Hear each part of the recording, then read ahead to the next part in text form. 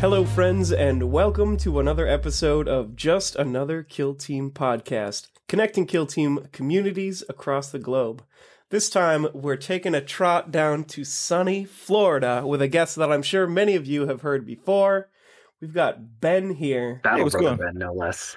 Ooh, Battle Brother Ben. BBB, what's up, guys? Thanks uh thanks for having me on. It been feels like a long time in the making, but turns out wrangling three adults with busy schedules and different time zones is a little tough, huh? It definitely is. I mean, you're the king of different time zone wrangling. I, I think we have a monopoly on the most difficult time zones in Kill Team podcasts for sure. So that's our claim to fame. Man, getting a hold of the Australian scene was was rough, even for us. yeah, I bet the different energies that we have is like Reese is just waking up.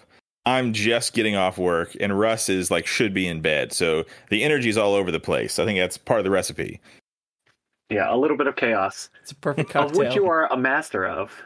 Oh, listen, man, that's uh, I'm all about the chaos. I can't help it. It, it is just my way.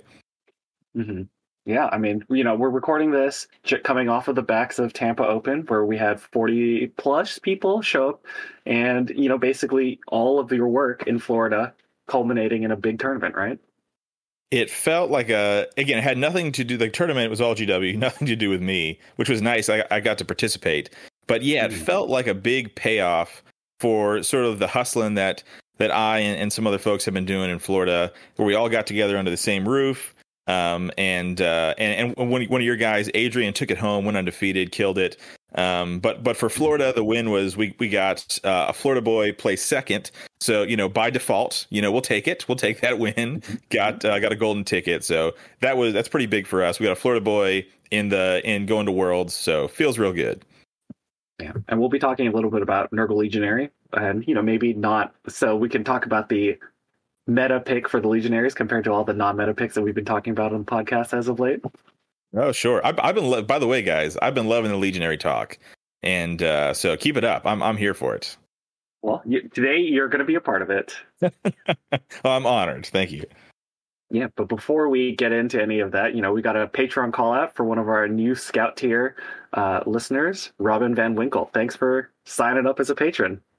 Because now we're up to three patrons, which is a, a big deal for us. Oh, that rules. Congrats. Yeah. How have things been going in uh, real life? I know, you know, obviously for you, the Tampa stuff is probably front of mind, but what has been going on non-kill team wise for you? Oh man, non-kill team stuff. Uh, hobby-wise, I, I've been flirting with Necromunda um, a little bit, just as a strictly for fun game.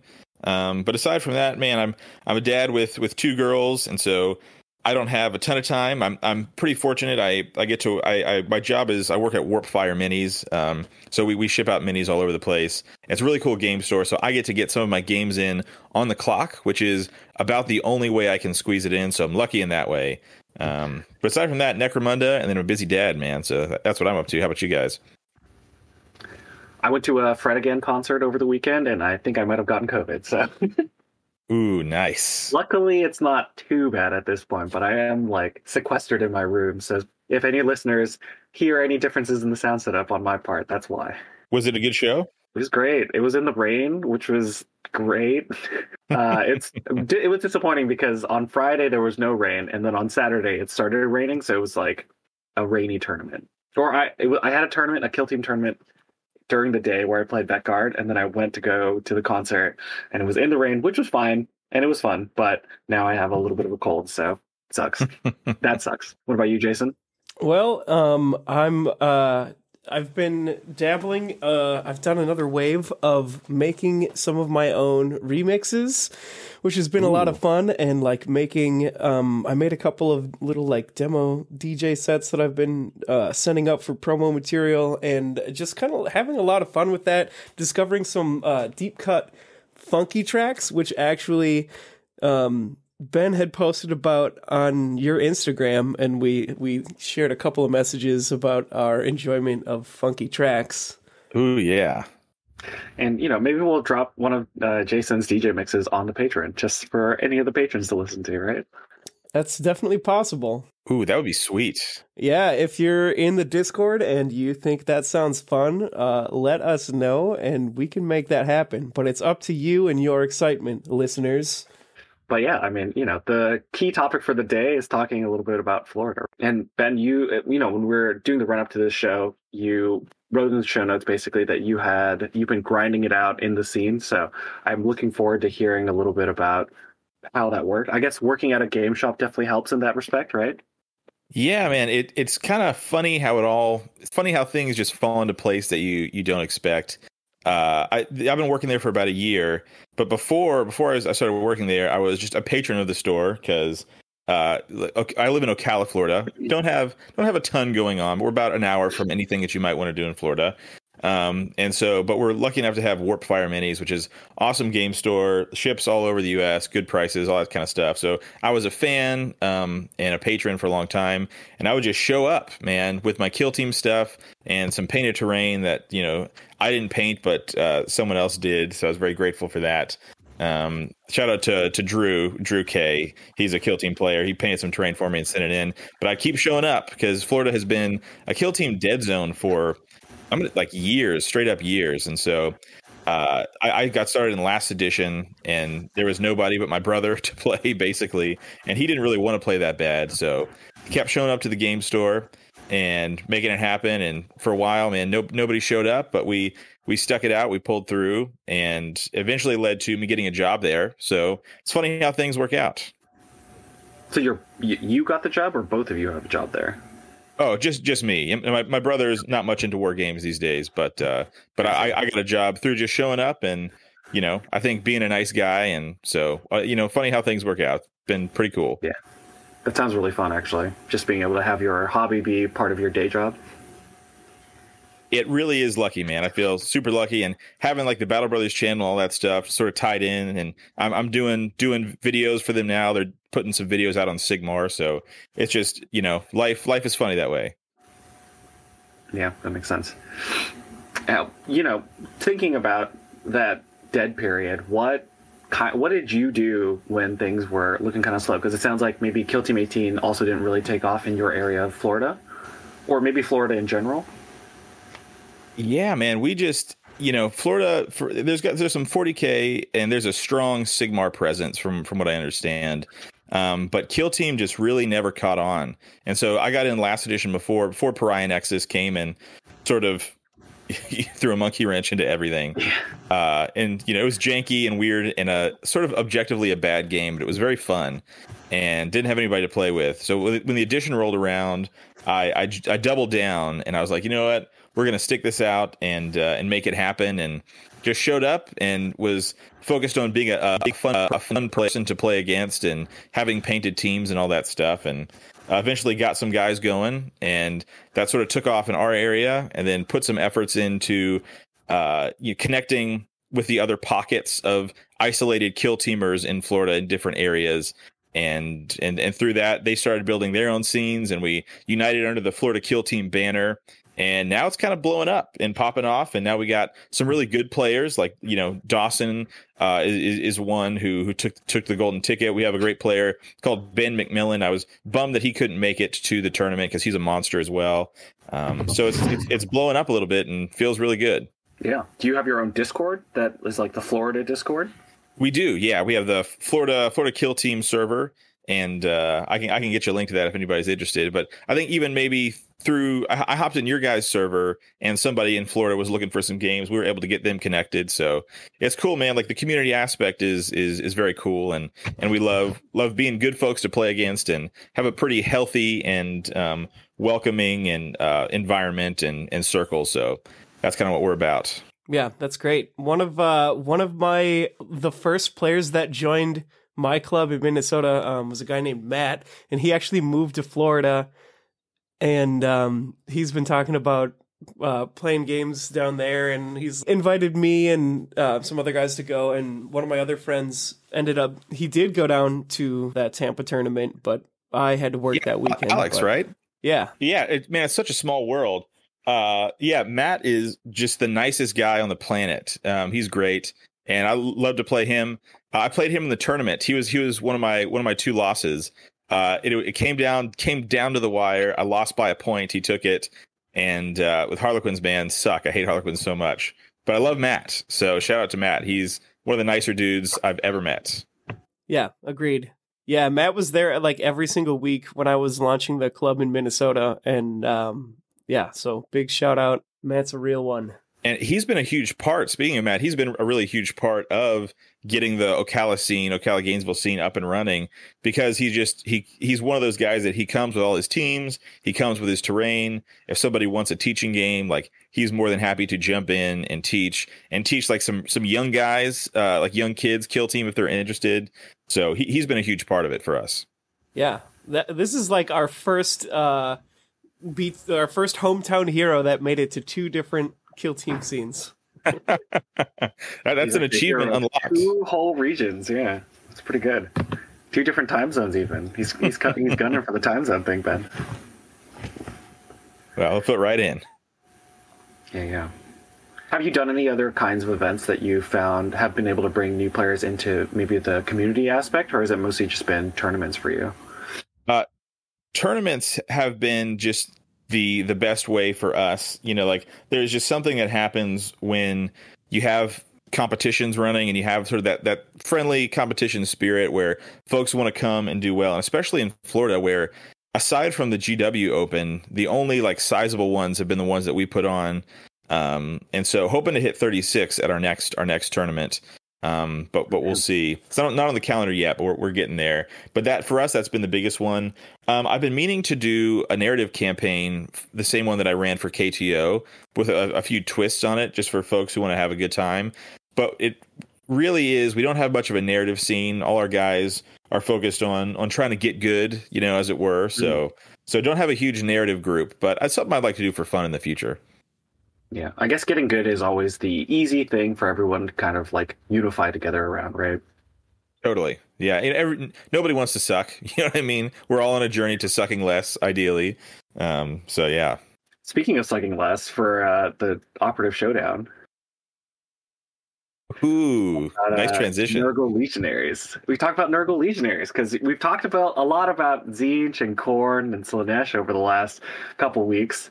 So I'm curious to hear about someone who's still playing Nurgle Legionary. And you did you did pretty well at Tampa. Four two is a pretty respectable record, losing to second place and Void Dancers, which is nothing to sneeze at.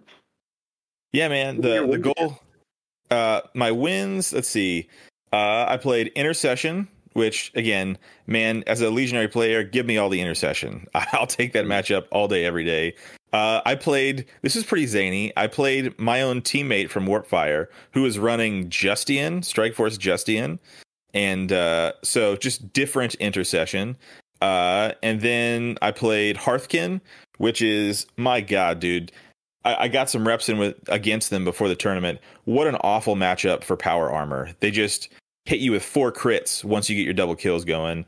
Um, and then my last win was against Hierotek, and uh, a very fun match against a very fun opponent. So th- those those are the wins. Nice. I'm surprised. So you know, Votann right now, just as a as a tangent, Votann are one of those boogeymen for Space Marine teams right now. So what what actually got you through that matchup? Oh man, so like the big takeaway for me, I've, I've been playing Legionaries for a, a long time, and I'm, I'm just this is Tampa is my second foray back into competitive like tournaments. Um, I was out for a long time because I was making videos, and my videos have slowed down because of sort of what we're talking about, trying to get the community up and running. Because that just felt like, you know, something that would we saw some some growth there. Wanted to try and foster that. Um, but so it was my second foray back into competitive play. One, my big takeaway was that man, with Legionaries, if you can get two double kills against like you know, a 12 or less body kill team, that's almost game right there, right there. You know what I mean? And so I was just able to get, uh, I dropped, dropped the heavy in that matchup because the boards are just so dense these days and obscuring is just so annoying.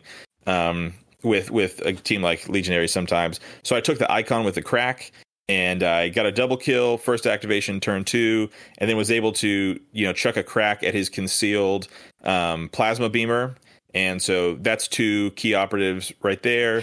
And then I was able to take out his uh, somebody else, and then his leader. I wounded his leader with someone else, and after that, man, that's it's hard to come back from. But even then, he still hit me with four crits from his his Melta gun that he has. So like that's just because the grudge token. So that is devastating. You you really can't take your foot off the gas against them because they will just hit you with crit city. Yeah, they're they play kind of like Blooded, where at the end of the game they're just o- way overperforming on each operative, just because you have totally. like, three grudges per enemy operative, which is great. Was he using a lot of plasma knives? I know Ace mentioned that he's all about the plasma knives, so curious if Uh, that happened to you as well. In this matchup, I think he had plasma knives on one or two guys, but not not the full knife gambit that that you sometimes see. Okay, yeah. You know, for any struggling Votann players, it does sound like on Ace's side, he's a big fan of playing a lot of knives. So that means at the end of the game, every operative can do charge, fight, shoot. So maybe maybe that would have been rough, right, Ben?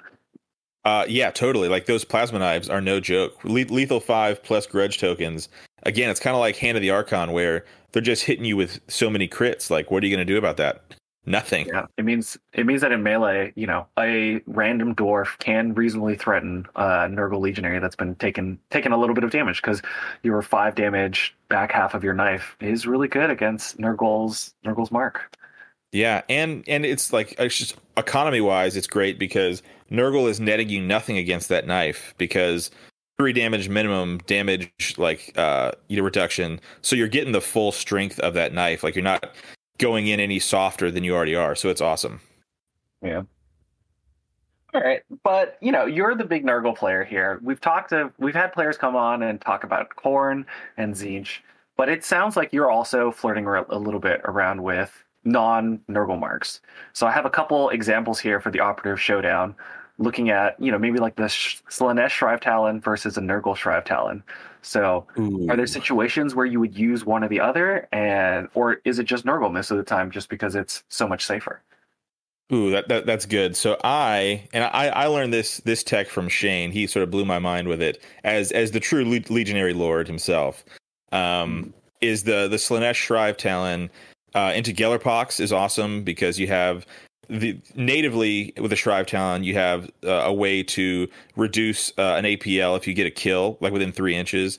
Um, and then also, I believe it's called Sickening Captivation is the ploy that you get with a Slaanesh mark, where for a CP you can just automatically do that. And so into two APL hordes that spe- specifically don't have like funny fallback shenanigans, like Kasserkin will will screw you up on that because you'll minus their uh, their APL and then they'll just do the tactical retreat, whatever it's called, and and get somebody out of there for free. But against something like Wyrmblade or even Vet Guard, you just have to watch out for in Death Atonement, where you can charge two, get a kill, and then subtract an APL from the other one, uh, and then you're safe in combat effectively. But like Blooded doesn't work against because they'll just they'll, they'll blast you anyways. They don't care.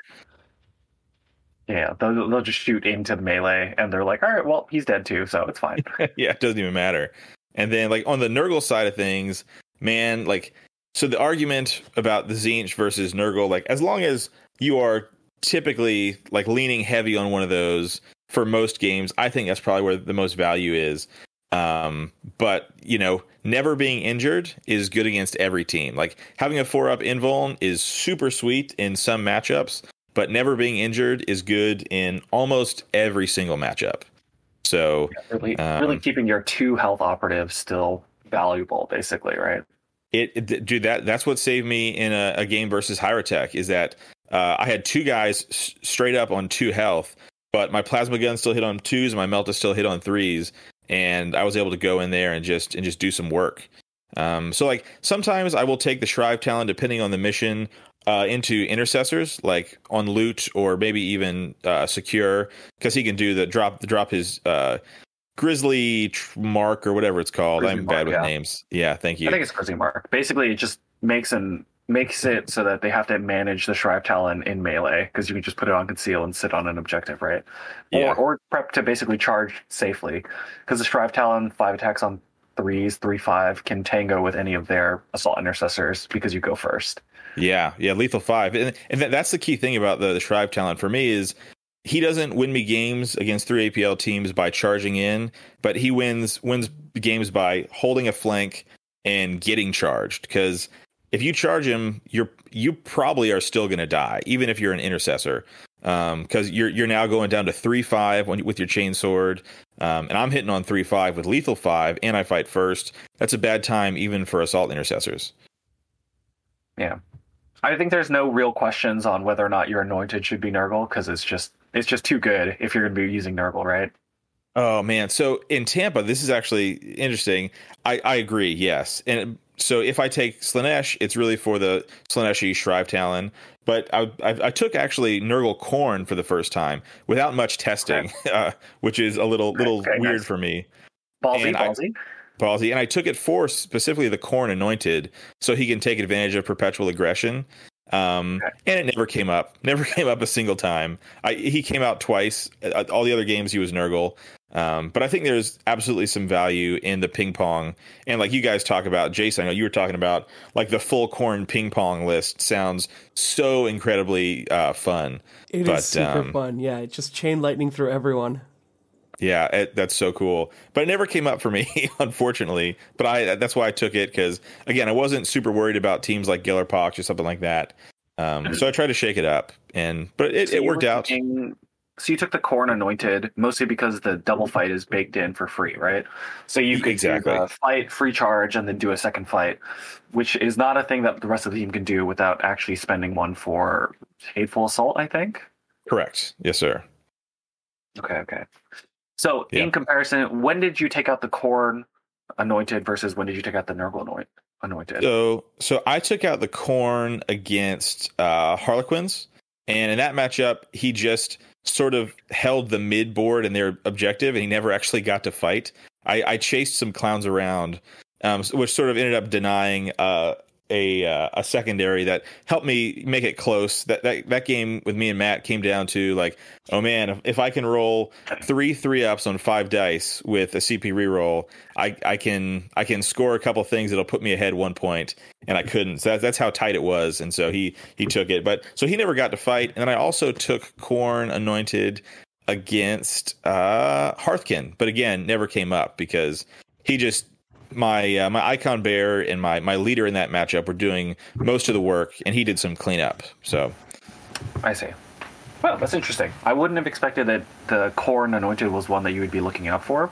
I think generally I hear people talk about the Khorne Butcher versus the Nurgle Butcher, just because the Khorne Butcher's eight damage hit is so much bigger than you know the Anointed losing the damage reduction. So if we were going to talk about the the next up Khorne Khorne Nurgle flip, it'd be, you know, Khorne Butcher versus Nurgle Butcher. You know, are there times when you would take one or the other, or do you, you know, are you mostly on Nurgle Butcher at this point? Well, I as now everybody when everybody gets into Legionaries, everybody wants to run the Butcher, right? He's the coolest model by oh, far. Yeah. Everybody's so psyched on him. Legionaries are a team I think that if you're getting started with them, they have a lot of traps. Like warded armor is a piece of equipment that's just like a meme, right? Like it looks really good on paper, but we we actually run it. It's like, oh, this is garbage. Like it gives you a two up save until you take damage. So like you get to roll a two up save once, you know, like and the butcher you want to run him every time, but he's not the pick to run every time. So like I never took the butcher a single time. I never ran into seven wound teams. Um, maybe, maybe he could have come out against Harlequins, but just just didn't ended up uh, didn't bring. Or even the the Votann, I think Khorne Butcher against Votann because your axe does one. The eight wounds, yeah, totally. Yeah. Um, but yeah, so he never came out. But I think totally for sure, if there's an operative in that team that wants to be Khorne, it's got to be uh, the Butcher because four, you know, four fours on fours, even with full rerolls, man, sometimes you're not going to get that crit. So Khorne assuring you get a crit if you can get a single hit is huge. Yeah. I think Khorne Butcher is the the most obvious one that would get taken as Khorne, just because the eight damage hit means that you're able to manage a lot of these teams. It's just whether or not the perpetual aggression stuff actually lines up. Yeah, yeah. totally.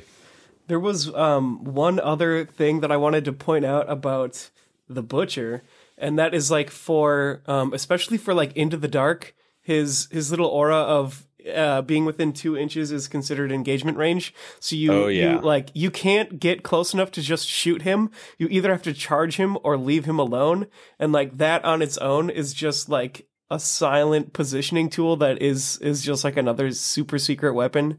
Um, and I just have kind of been chuckling about how awesome that is, and figured I'd share that one. Oh yeah, like if you put him behind a barricade, you know, far enough back behind Yeah. a door, it's like, who's getting through that door? Nobody. That's who. Yeah, I think the one big trap for players who are trying to use that rule, I think on the Legionary, it is called. Yeah, yeah. So devastating onslaught. For the purposes of dash, fallback, and normal move actions, enemy operatives would perform. Treat the distance of this operative's engagement range as two inches for that action instead of one. So it means that it's hard for you to move into him when he's concealed. But on in the dark, if you're trying to use this ability behind a closed door, it actually doesn't work because what your opponent can do is move into a door, open the door, and they're technically in engagement range, but they're not in engagement range during a shoot action. So I've watched, I have watched a couple players walk into that trap where they thought that if you put a guy on guard uh, behind a door, that you would be able to get away with a fight before they were allowed to, and someone opened the door just at the range where they were not in actual engagement range, and the person Sure. wasn't in hatchway fight range, and just got ate to the face. Yeah, so like the only it way to make good. that work is if you open the door and then park behind it concealed, because then they can't Yeah. approach the door, and then they can't get close enough to ignore your cover from being within two inches, and then like that's where the real secret weapon lies there. Yeah, so you've got to be for anyone who's trying to do this, the butcher has to be visible before any of this basically can happen because they literally can't see them on in the dark Right. because of a door. Then this doesn't work because it only counts during the dash, fallback, and normal move. It doesn't count during any of the other stuff. So you can actually be within the gap while he's on conceal and shoot him just fine. It's just getting into that gap is not normally possible. So it's a, a big thing that I have seen people miss. And that, that has nothing to say for you moving your butcher aggressively into people. That also doesn't work because Yeah, they yeah. can still shoot you within an inch and a half. It has nothing to do with the shoot action. So be careful about that for people trying to use the devastating onslaught. Yeah. Yeah, so like the the exact application there is like um let's say for example you're playing against like Star Striders for example, and they're gonna wait until you run out of activations and then they're gonna run up to get within two inches of you and then they're gonna call like the nuke on you. Um so if your only guy that's pushed forward enough to be eligible for that play is the butcher, they can't run into the range where they can actually target him. And now you've got you've got like your foothold to to launch into the enemy team next turn and they just can't do anything about it. Yeah. So good. Yeah, this is definitely uh, the the spot where the butcher shines the hardest is when people are trying to game the two inch distance, probably on open specifically for the Star Striders. Yeah. Yeah, and then there's other teams that have like a similar kind of vibe there, but um yeah, so that's that's like the main piece there. Um but yeah, I mean, we do still have uh another piece of the operative showdown that I think would is a fun one to chat about and that is the icon and do you ever take the icon as Black Legion just for like the the basics, like the double shoot double fight? Oh man. So I be curious as as, as a fellow legionary player. Be curious if, if you do or not. But I never take an undivided uh, icon bearer. I do. I tell you what though, the icon with chainsword is quickly becoming one of my like go to operatives.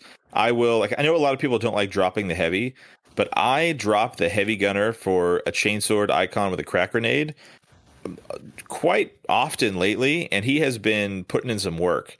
But I, I never take him undivided just because I'd rather get a free never injured or free minus one damage and then spend a CP when I need to because we, we're just, you know, legionaries get so much CP anyways. I never find it an issue. How, how about you? Yeah, I feel the same way, and I also like I always take the Mark of Khorne icon, um, partially because that banner makes him count as one extra APL, and that is just super clutch all the time, which is is just amazing. And then the fact that like he is pretty scary with just a chainsword, and like then he's just another dude that can chain lightning into people, and it's just like it's ruthless. Yeah, hear me out though. You know, undivided with the crack grenade. So if you were going to be doing what you're doing, right, you would use your leader to get the free ploy because as long as your leader or your archon bearer exist, they can both give the free ploy. So undivided gives your crack grenade a reroll, which does help as far as the reliability goes for Oh yeah, the, totally. Yeah, and he's still Yeah, so having like an undivided icon bear with a crack grenade means that you've got a pretty good forward piece that also gives you double fight or double shoot. The real question is whether or not people are actually double shooting most of the time, and I think at this point I I haven't really seen double shoot come up all that often, just because for the most part players don't really give you double shoot. It's really the No. intercessors that get away with double shoot because they're they have all their guns that are double shooting. Because it's not often that you're going to be running a heavy bolter nowadays, so it's really just is your icon bears tainted rounds double shooting Yeah. at this point, right? Yeah, the, the double shooters I find are, are the Tzeentch players because like Tzeentch is really the only time uh, when the heavy bolter makes more sense than, than the Reaper autocannon just math wise. Um, and so I, I know some Tzeentch guys like to run the icon with with uh, blessed bolts or you know accursed rounds, whatever it's called. Yeah. Yeah, and so I I, don't like that personally because I run them very melee focused. I think it's just what they want want to do. But I know the Tzeentch players like to do it that way with the double shooting. But I agree. Like if you're playing folks who know what's up, like man, you aren't you're not going to get to double shoot unless you're just double shooting an intercessor. You know what I mean? Yeah, I think locally one of the legionary diehards in my group, Will, he has found that double shooting basically never comes up. So he's basically stopped trying to manage the double shooting at all, and now he's just playing super cagey. And he was able to take the W against uh, Michael Sarah, one of our other local players, in our most recent monthly for October. Oh, nice. Oh, that rules. hmm Yeah, and he was playing, you know, Void Dancers. So maybe uh, I think he's even on the Discord. So in case you want to ask for tips, Ben, maybe the next time you play Void Dancers, you'll have some extra answers. Look, man, I'll take all the help I can get against those stupid clowns. Yeah, man. As far as using other random marks, you know, it sounds like you use Khorne, so there's no reason, no way for this to have come out. But if you have flirted around with Slaanesh, have you ever tried a Slaanesh Psyker to try to get away with a cheeky turn one fire blast that your opponent wasn't expecting? Oh man. So my roster for like about a year now has been Nurgle Slaanesh. So so yeah, I I the yes yes and no. Like again, a lot of folks just aren't giving you turn one fire blasts anymore just because people have have learned. Um, like typically you get a turn one fire blast off the first time someone plays legionaries and then they never let it happen again. But like cultists or something, it's probably, probably you're getting it off. So I really like him as Slaanesh, but also I like him as Slaanesh for this strat where you get plus one to your crit damage. And something that oh. yeah, so I love him actually. Like into intercessors, his fire blast is doing nothing. But what he is doing is his his knife is only it's five attacks, three four with demonic energies. So every time you retain a crit, that's two mortal wounds. So I love sending him into an intercessor because nobody's expecting it. You buff yourself with uh I forget what it's called, but you give yourself lethal Uh, five, Brutal, brutal. lethal five. Yeah, it's Yeah, malign influence on yourself. Thank you. Yeah, so now, and if you're Slaanesh and you have the plus one damage, you effectively you have a three three seven melee weapon going into intercessors, and with lethal five, it's not uncommon for you to roll two or maybe even three crits. So that changes the melee maths in a crazy way. So you're killing an intercessor, maybe only taking a hit back. That is that does sound really cool. Yeah, the Legionary Balefire Acolyte. You know, every crit that you retain is dealing two wounds. So if you're doing an extra crit damage because you're Slaanesh, you are mulching a 14 wound model. Yeah, and and again, nobody expects it, which is so cool because like you- you're afraid of him from the balefire, but he can go in and chop it up really good, like single target melee combat. He's an absolute monster. And then like into seven wound models who have the same strength there, he'll just like run up and, and one shot people. And that's another thing, like, yeah, no one would expect that.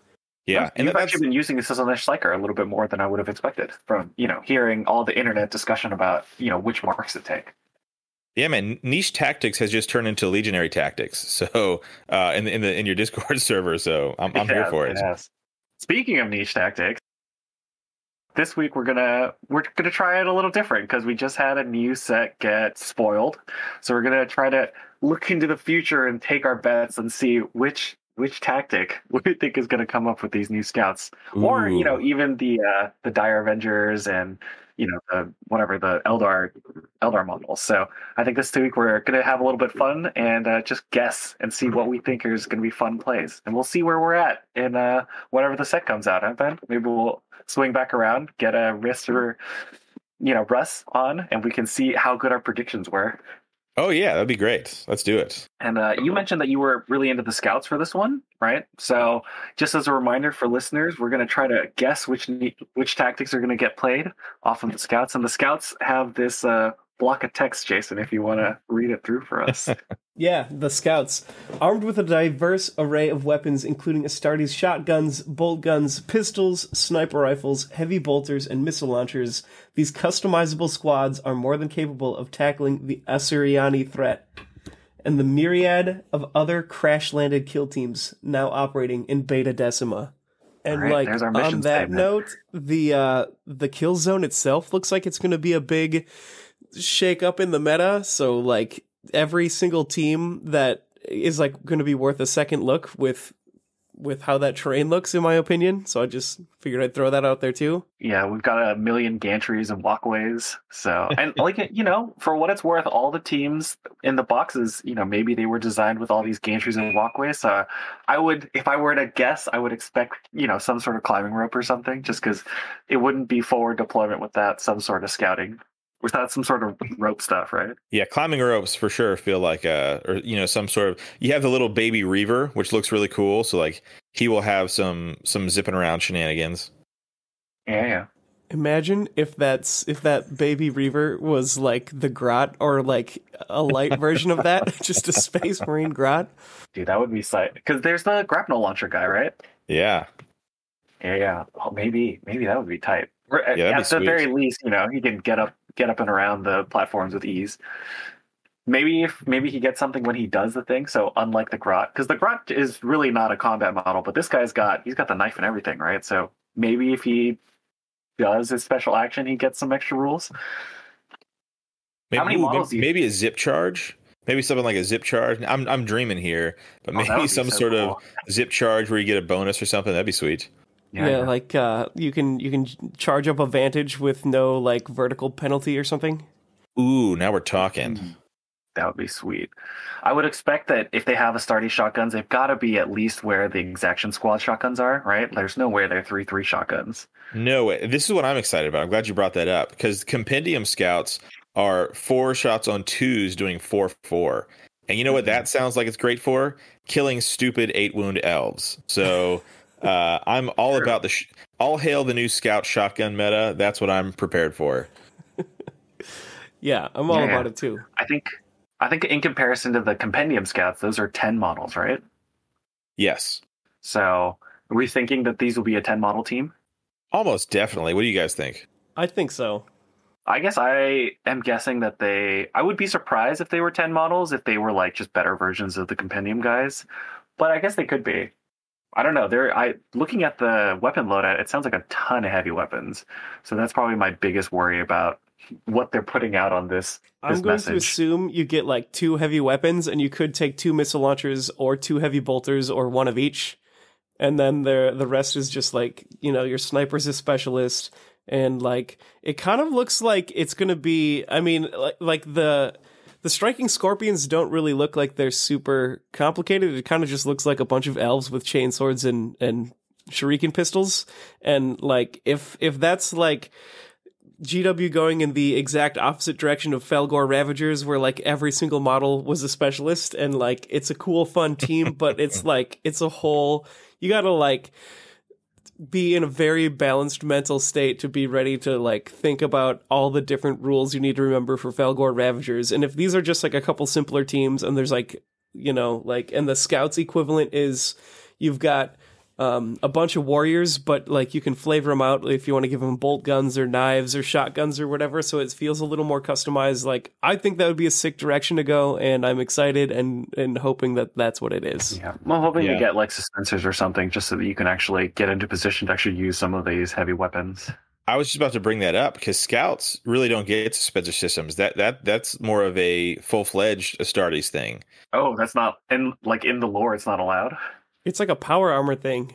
Yeah. So if you're just just you know out there with uh you know your basic scout equipment, I don't think you're going to get suspensors. Ooh, so maybe they've got forward deploys. Like It would sneaky be really style. sick if you could Gotta forward be. deploy and charge, right? Maybe the grapnel guy is allowed to go forward and he can zip over and stab someone super early. Yeah. That'd be nice. If if there's one thing that we've all learned this summer is that Kill Team needs more forward deploys. Am I right, boys? Hey, We've learned we've learned that you know one is not enough. It's three that really breaks the game. Yeah, And you three know what? minimum. Let's be honest. yeah, scouts. Why not all ten? Yeah. I, I don't even respect a forward deploy if you can't put out three guys. Like, let's just be honest. Oh man, what do you guys think some of the ploys or attack ops might be? Or Ooh, they tactical did- ploys? They don't get shoot or fight twice if, if this edition is anything to go off of. So it'd be really interesting. Yeah, they definitely can't do it as like a strap ploy, right? Because that would be like the Big Brother thing. There's no way Yeah. that you could have the same ploys as your Astartes Big Brothers. Totally, yeah. So I I really have a I'm having a hard time speculating for what these guys will have. I don't know if you guys are feeling the same way, but I just like man, I'm not totally sure. Aside from scouting stuff, Yeah, I would assume that they've got to mess around with scouting a little bit, right? Just because they're because they've got to be forward deployed. Because I think for the teams that do kind of like forward deploy shenanigans, like Wyrmblade, Commandos, Hunterclade, they all kind of do stuff early on. And Hunterclade maybe are the biggest example of getting to do a bunch of extra scouting actions because they get extra infiltrates or extra dashes. So maybe the scouts will have something like that. I agree. That'd be cool. Yeah, and like s- s- like grav chute insertion kind of vibes like Phobos has. Um, Ooh, I wouldn't be surprised if they had some kind of like turn one ambush mechanic where they can like change orders on turn one um, to like spring out at people, and uh, either that or like striking scorpions. I'm I'm not like as familiar with the striking scorpion lore, but just like striking scorpion makes me feel like you get close and they lash out and sting you. yeah, I think in lore they're like the forward deploy in heavy armor and stab people in the shadows. Group. Yeah. Yeah, and it's interesting because you have them. There'll also be the Howling Banshees and the Dire Avengers. Dire- Yeah, in I there, so- that you can mix all three. Yeah, so that'll be. It almost feels like again, sort of like you were you're mentioning, Jason, that there's really not, at least on the surface, doesn't look like much flavor there. It's just ten green dudes with chainswords. One has a lobster claw, so it kind of feels like intercession in in that way. Where okay, maybe it is an easy entry point for folks to play at like strong aspect warriors, but not get not have to get too bogged down in in rules. Yeah, and especially if like all the basic different like all the basic warriors are options, like your list building is now just like what equipment do you give your warriors? It's probably going to be a, a lot about roster or like operative selection, right? So maybe kind of a Phobos situation where you're picking between the three aspects for the mission, and some people will just play all incursors or all Howling Banshees, and some people will do other things. Yeah, and I, I bet that there will be sort of how, how legionaries have ploys for the different marks. I bet that there will be different ploys for the different aspect warriors. Ooh, I like that. I hope That'd so. cool. and then maybe they'll do banshees. something. Maybe Oh, go they'll. ahead. I think they mentioned that there's going to be like a little bit of mixing, right? So maybe they'll have some nod towards, you know, a couple fi- as- aspects working together. Yeah, I was just uh, talking to Dakota on Squad Games. I know, sponsor of you guys, uh, and we, we were just chatting about because he's a big Eldar fan. You know, he loves the dirty Eldar. So, uh, uh, Howling Banshees, their thing in 40k is they always get to fight first. That's a big part of their in-game lore. Oh, man. So, like, I bet there will be. He was even mentioning like a team-wide fight first. Like that's like a, That a would be that's- insane. that that would be worse than like at launch Fellgor. Like it'd be just insanity. Um, so Especially if you got ten Howling Banshees, it would just like run up and just Yeah. wait for you to get in combat. a whole team of Shrive Talons, that sounds like my nightmare. So, Oh, but. I bet it'll be a ploy. Like maybe if someone charges you, you get to be the attacker or something. That would be really cool. And they've probably got to also have some nod. I mean, maybe Eldari agility lets you just fly on top of uh, buildings. So who knows? Maybe Void Dancers will just be gross with how many climb checks or jump tests people are looking at. Oh yeah, man. The new the new wonky terrain. How, how do you guys feel about that? Because I cannot see a way to make that competitive. exactly. What, what do you guys think? I it depends on how much cover there ends up being on top of those buildings because I think in the demo pictures maybe it's fine because you can hide behind all of the objects and maybe it's fine. That I assume there's probably got to be some other rule with the kill zone. Maybe they have extra obscurity rules or something. Just from the way that smoke looks, maybe it does something. Sure. or like Yeah. the seas flare up and it reduces everyone's shooting range to six or something. Um, I don't know. That sounds more like a narrative thing, though. Um, I just like. I am not 100% ready to like badmouth it in any way. I mean, I, I feel like even just as is, if it is just a shooting gallery, it's like everyone skirts around like the feet of the buildings until like someone has to go up to, to score or something. And then like that just turns into like a giant unraveling thread where like this person shoots at the person on the, on the balcony and then someone like shoots down at everyone and just like turns into a crazy shootout, which you know, like, like when when Kill Team first came out, I don't know about about you, but like pretty much every game was that way. Um, and like people weren't doing terrain right and all sorts of stuff like that. And and like if this terrain kit just kind of brought it back to that, but with everything we've learned in the last two years, I think that could be kind of amusing actually. It's like, look at all these things we've learned. It could also be that, you know, maybe they toned down some of the gantry stuff. And because, like, the gantries, I think if you, like, flip them over onto their side, they would make for fine heavy wall cover, right? So maybe if they have to re redo the terrain layouts, they could do that. But I think that I need to play on it just to have a real opinion. Because right now I'm just looking at pictures. I have no idea what those maps look like. So Yeah, and what what what they showed off might not be the actual layouts for you know. yeah, I think so that's definitely a thing there's that has come up know. this that's the thing that's come up in past previews, right? Where they were like showing illegal team layouts. Yeah. Yeah. So I I think generally what they do with the pictures for previews is they're trying to show all the contents of the boxes. So maybe, you know, maybe there's some other stuff going on with the terrain that we don't know. So I'll hold my breath. I don't love it, but it looks way easier to set up than in the dark. So I guess on that part, I am happy about that. That's true. Yep. I mean, for what it's worth, at this point, a year and a half, like a year in, I'm pretty good at setting them up. Maybe not as fast as the T.O. Ben from Tampa, but I can set up the boards pretty quick now. Oh man, I got a crash course, and yeah, Ben, ben, he was awesome at Tampa. By the way, got to give him a shout out. He's just it was my first time at an event that he was toing, and just what what a Great. total pro. Yeah, what a total pro. But no, I got at Kill Team Open this past year. I got a crash course on assembling into the dark terrain out in the tent. It was the night before, so the the heat wasn't on. Uh, so so Florida boy Ben out in the tent at night before the heaters come on with these cold fingers, like numb fingers. And you know what hurts extra bad when your fingers are cold? When you skim like the corner of one of the top pieces with Oh, one of your cuticles. That hurts real bad. So I got a crash course then. So I'm a pro at it now. I've been in the trenches. I'm a pro.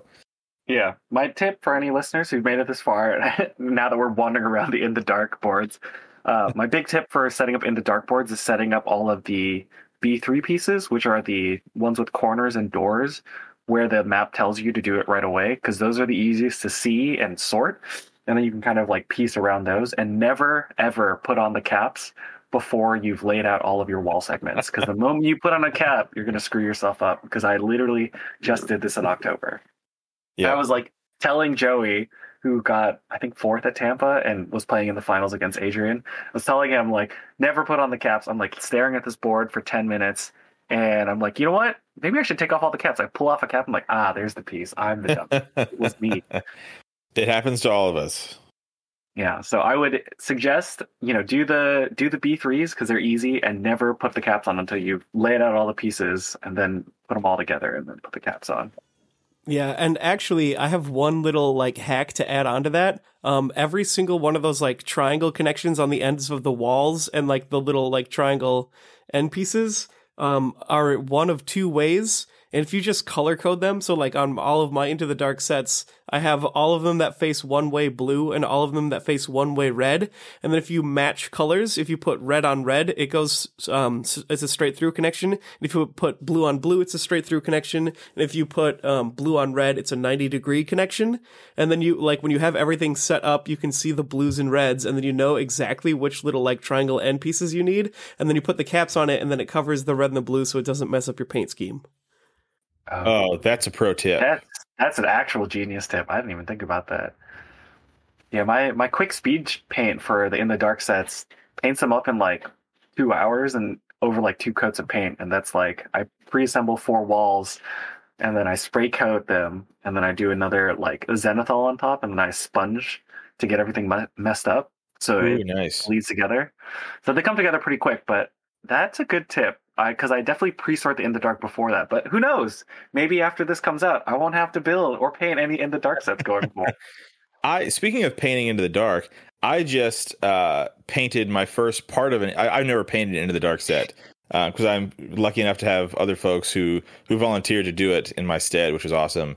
But I painted a wall. Part of my display board uh, for Tampa was an an into the dark wall, and so that was my first time painting it.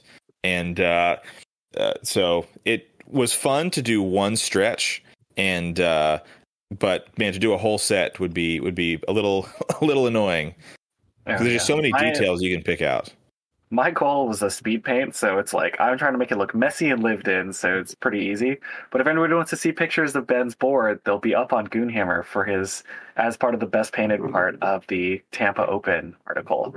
Oh yeah, I'm excited. Excited excited to uh to be on on the hallowed grounds of uh Goonhammer. That's like Yeah. e- e- not for being good at the game, but just for being just just for being there. Feels good. Honestly, being a writer for Goonhammer or being one of the writers for Goonhammer is kind of crazy to me because I remember reading Goonhammer for 2018 and being like, "Man, this is this is it." That's where you and now go, I'm on man. the inside writing articles for them, so it's cool. Every time, every single time I play Necromunda, I pull up the Goonhammer uh Cawdor article every single time. Like, okay, walk me through this, please. Mhm, mhm, mhm. Yeah, I think locally we've even got. I think Necromunda has filled up for the New York Open, and BattleTech has filled up as our side events. So, you know, for Oh, no anyone way. looking That's to come to New York Open, you know, it's just the GT at this point. Yeah, yeah. yeah. That How rules. about uh, how about how are things coming for the Renegade Wargaming convention? Renegade is coming along. Um, we've got two events that we are going to be running. Um, so Renegade is a, it's a wargaming convention. There's all sorts of stuff there. There's Sigmar. Um, they might have Warcry, maybe not. Um, and then there's 40k. There's even like bolt action in the Batman game. Um, and the the November iteration specifically, we rent out a whole hotel, and um, yeah, so it's like it's the biggest one of the year. Um, our Friday event is going to be Escape the Gallow Dark, and as I, I I'm still kind of like scheming with some ideas of bringing some speakers and lights and like playing the Doom soundtrack and having like spinning red lights and uh, like shine a flashlight at your into the dark, and there's all this like crazy effects that can happen that um my friend Lee is putting together. So it's like you you roll initiative on a d20, and then it could be like um, gravity goes out and now everyone can fly, or like the lights go out and now you can't see Oh, past man. four inches, or like there's a gravity slam and everyone moves into like the east wall. Um, or like um, objective markers can explode and then it just kills everyone that's on there, or like um, an air leak and then it slams all Explosive doors. decompression on a room. Just Yeah. like blow a room up and then all the doors slam shut. Yep. So we've got all sorts of crazy effects like that. Um, we've been doing a lot of playtesting for that over the last um, month, month and a half, um, and just kind of getting that all put together. Um, it's been a lot of fun. Um, so that's the Friday event, and then it's yeah, so it's kind of like a narrative thing, and then um, Saturday and Sunday is going to be linked like a, a grand tournament. Um, where we're still taking signups and I actually haven't checked on the numbers in a little while, but um we're we're shooting for hoping to get like at least 24 players and then if we do fill that up, then I'm going to request to see if we can get a little more space, but um we'll see how it all goes. Well, that sounds awesome, man. Yeah.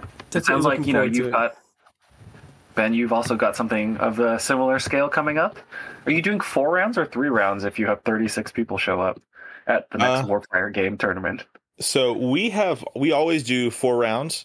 Um and Eve so I think on the past the past two that we've done even so we've had like 22 24 folks and even then there ends up or I think it was 20 and 22 and uh like even that we've ended up with two undefeated players which is a bit of a bummer.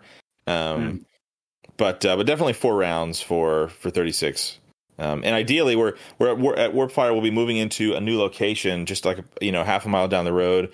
So at that point, we can probably fit up to oh man, like I, I don't I don't want to count the tables before we have them, but even up to like 48, even maybe 60 players if we wanted to really pack them in. So you know, at, hope, hopefully the the Florida scene will continue to grow and and we can max out and do some two days. It definitely sounds like uh, being an hour away from anything that's worth doing is coming at coming back in spades in this case, huh? Oh yeah, man. Ocala again. Not not much here other than the Warp Fire tournaments, but uh, but it's good because like the Miami guys, it's a drive for them, but uh, everybody else is not too bad for. Yeah.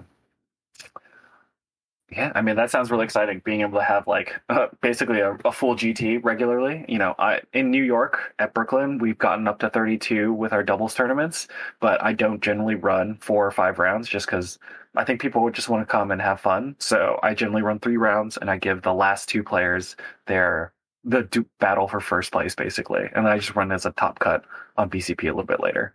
That's cool. Yeah, I'll have to mm-hmm. pick your pick your brain on on doubles tournaments because that's something that I'd I want to throw in again just for a little more a little more relaxed, a little more fun for some folks. So I'll have to ask you some questions on that later.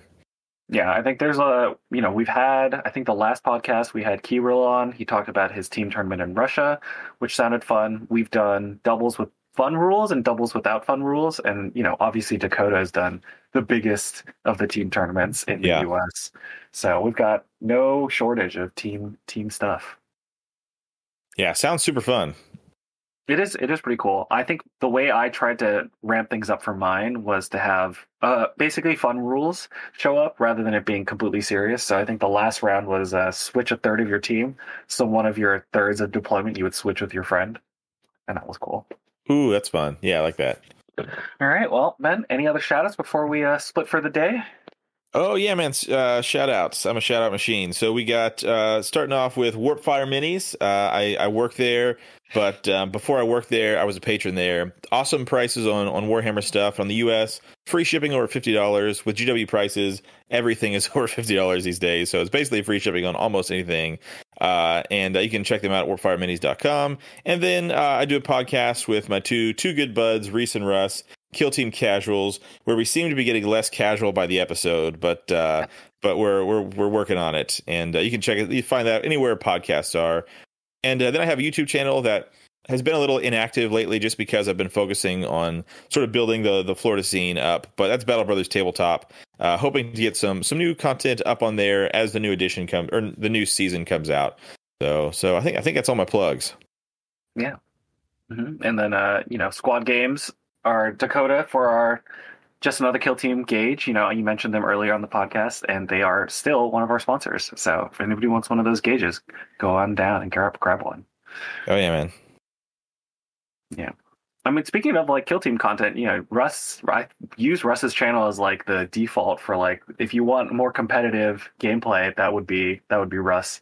So I'm not surprised that you guys keep edging towards more competitive games. Yeah, man, we're we're leaving Reese in the dust a little bit, but we're we're trying to bring him up by proxy a little bit. Yeah, is he part of the Sydney scene?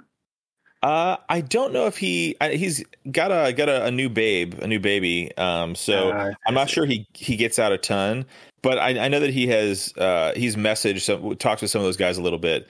But uh, we got to get him out there, man. We gotta we gotta get the bird out of the nest. Get uh, yeah, you know, get him playing in some comps and uh, yeah, switch over from kill team casuals to kill team competitors. Competitors. Ooh, that that'd be an easy switch. That's a good one. Yeah. Yeah.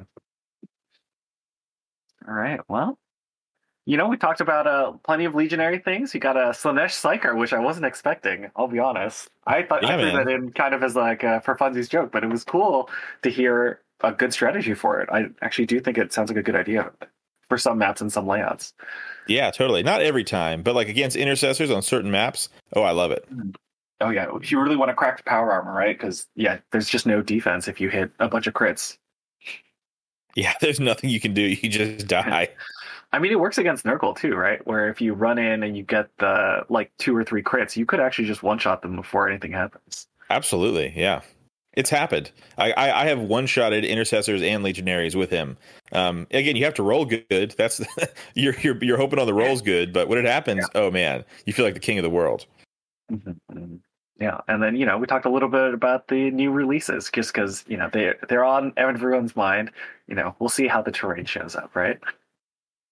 Yeah, man, I think you guys made a good uh, a good point. Like we we haven't seen the rules yet, so so so many folks like to jump straight to the negativity.